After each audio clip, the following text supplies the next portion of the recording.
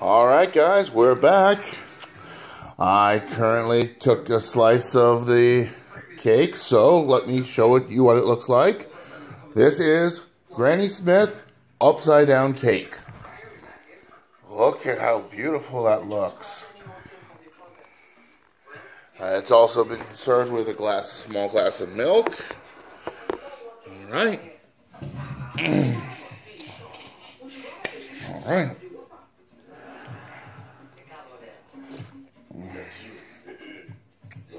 All right, let's give it a shot.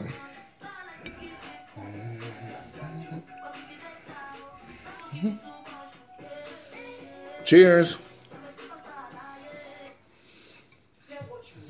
Mmm. Not bad at all.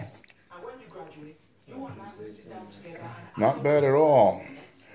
The cake is definitely dense. I can taste the apple within the cake, meaning the flavor of the apple absorbed in. The apples are perfectly caramelized. This was a really good one.